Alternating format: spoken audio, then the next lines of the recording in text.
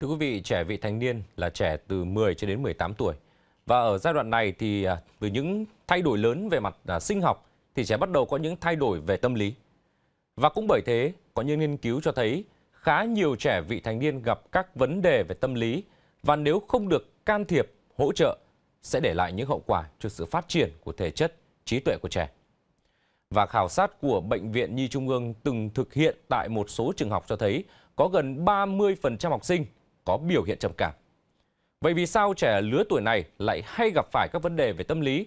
Và quan trọng hơn, khi gặp phải những vấn đề này, cần đưa trẻ đến đâu để được can thiệp kịp thời? Kính mời quý vị và các bạn cùng theo dõi phóng sự sau đây. Tôi chẳng có chút cảm xúc tích cực nào. Tôi thấy mình phản ứng thái quá với mọi tình huống. Tôi cảm thấy mình buồn chán, trì trệ. Đây là một trong những câu hỏi mà các bác sĩ của Bệnh viện Nhi Trung ương dùng để khảo sát, sàng lọc phát hiện các rối loạn liên quan đến tâm thần ở học sinh, cũng là lứa tuổi trẻ vị thành niên. Trước đó, kết quả khám sàng lọc của bệnh viện tại một trường trung học cơ sở trên địa bàn thành phố Hà Nội cho thấy, trong khoảng 600 học sinh được khám, tỷ lệ trẻ có dấu hiệu trầm cảm chiếm 29,4%, lo âu chiếm 42,8%, stress chiếm 32,6% trong tổng số học sinh toàn trường. Khi khám sàng lọc tại Hưng Yên, tỷ lệ học sinh có biểu hiện trầm cảm là 16,4% trên gần 300 học sinh. Theo các chuyên gia, kết quả này cho thấy học sinh thành thị mắc trầm cảm nhiều hơn ở nông thôn.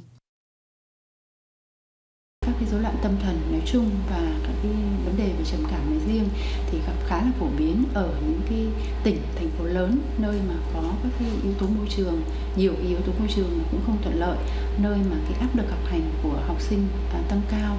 Và nếu như là so sánh với lại các cái nghiên cứu khác mà chúng tôi thấy ở Việt Nam thì chúng tôi thấy là cái tỷ lệ mà trẻ có biểu hiện trầm cảm thì nó cũng ở cái mức của Việt Nam mình là trong dao động từ tùy các cái nghiên cứu là khoảng từ 20 cho đến à, từ 8 cho đến 20 phần trăm.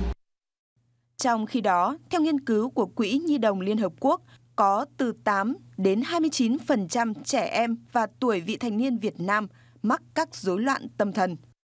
Một khảo sát dịch tễ gần đây còn cho thấy trung bình 12% trẻ em gặp các vấn đề sức khỏe tâm thần, tương đương hơn 3 triệu trẻ em có nhu cầu về dịch vụ sức khỏe tâm thần. Các vấn đề sức khỏe tâm thần phổ biến ở trẻ em Việt Nam là hướng nội như lo âu, trầm cảm, sự đơn độc và hướng ngoại như tăng động, giảm chú ý. Nhóm trẻ này có cái nguy cơ bị trầm cảm mà tương đối là cao. Là bởi vẽ trong cái giai đoạn này thì trẻ có nhiều các cái thay đổi về tâm sinh lý, về phát triển thể chất. Và trẻ rất dễ bị tổn thương trước các cái tác động của uh, môi trường sống. Và trên thực tế thì chúng tôi cũng thấy là cũng có khá nhiều các yếu tố uh, có thể làm gia tăng cái nguy cơ trầm cảm hoặc là dẫn đến trầm cảm. Uh, ví dụ như là các cái uh, yếu tố về uh, chấn thương các cái uh, yếu tố stress trong cuộc sống. Cái thứ hai nữa là cái môi trường sống. À, ví dụ như chúng tôi cũng nhận thấy là rất nhiều các cái trường hợp mà trẻ khi mà chuyển cấp từ ví dụ như là cấp 2 đến cấp 3 hoặc là à, đi du học ở nước ngoài à, thì thay đổi các cái môi trường như vậy hoặc thay đổi à, chuyển nhà cũng là một cái yếu tố à, gây ra các cái sang chấn đối với trẻ. Cả người lớn cả trẻ em và nhất là lứa tuổi uh, thanh thiếu niên hoặc những cái cháu ở trong lứa tuổi học đường có thể là từ uh, cấp 1 đến cấp 2, cấp 3 thì nó có rất là nhiều các cái vấn đề uh, về liên quan đến uh, vấn đề học tập như là sức ép học tập tại nhà trường bài vở có thể khối lượng nó nhiều. Yêu cầu của phụ huynh của gia cha mẹ cũng là một cái áp lực rất lớn về vấn đề như là về thành tích phải yêu cầu các con là phải đạt một thành tích như thế nào đó. Thì đấy chính là cái vấn đề mà gây ra cái áp lực. Và uh, từ trước đến nay thì ngành ờ, y tế bộ ngành y tế cũng đã có cái sự quan tâm rất lớn đến cái vấn đề sức khỏe.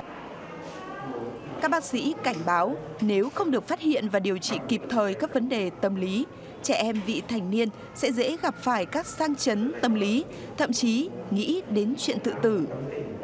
Do đó, khi thấy trẻ có bất cứ biểu hiện bất thường nào, cha mẹ có thể đưa trẻ đến các cơ sở y tế có chuyên khoa sức khỏe tâm thần hoặc gọi điện đến đường dây nóng của khoa sức khỏe vị thành niên, Bệnh viện Nhi Trung ương theo số 0865 122 783 để được tư vấn và điều trị kịp thời.